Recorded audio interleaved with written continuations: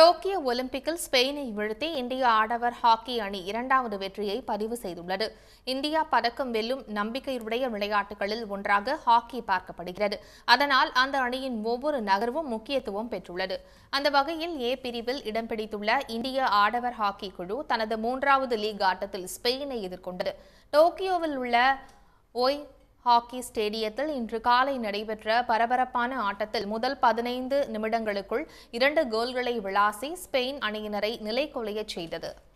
சிம்ரன்ஜித் சிங் பதினான்காவது நிமிடத்திலும் அதற்கடுத்த நிமிடத்தில் ரூபீந்தர் பால் சிங்கும் தலா ஒரு கோல் அடித்து ரசிகர்களை மகிழ்ச்சியடைய செய்தனர். இதற்கு பதிலடி கொடுக்க ஸ்பெயின் வீரர்கள் மேற்கொண்ட பகீரத முயற்சி கடைசி வரை எடுபடவில்லை. அதே சமயம் ஐம்பத்தோராவது நிமிடத்தில் ரூபீந்தர் பால் மேலும் ஒரு கோல் அடித்து இந்தியாவின் வெற்றியை மேலும் உறுதி செய்தார்.